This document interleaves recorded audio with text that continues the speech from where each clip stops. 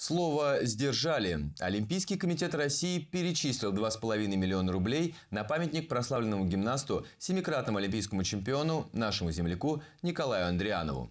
О выделении этих денег президент комитета Александр Жуков заявлял еще в ноябре прошлого года. Тогда губернатору был передан соответствующий сертификат. И вот спустя 4 месяца сумма переведена. 2,5 миллиона поступили на счет регионального олимпийского комитета на днях. Это позволит запустить процесс изготовления монумента, говорят члены общественного совета по увековечению памяти спортсмена. Тем не менее, вопрос до конца не решен. Ведь только один памятник стоит 3,5 миллиона, то есть не хватает еще миллиона.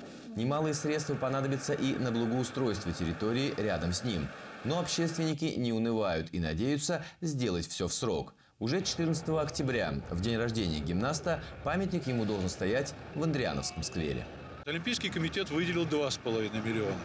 Денег народных собрано порядка 250, ну побольше. И эти деньги продолжают поступать. Поэтому мы надеемся, на памятник деньги у нас будут. А вот на благоустройство, ну, будем просить меценатов, э, будем просить и администрацию поучаствовать, и областную, и городскую. Но памятник будет, это очень радует нас.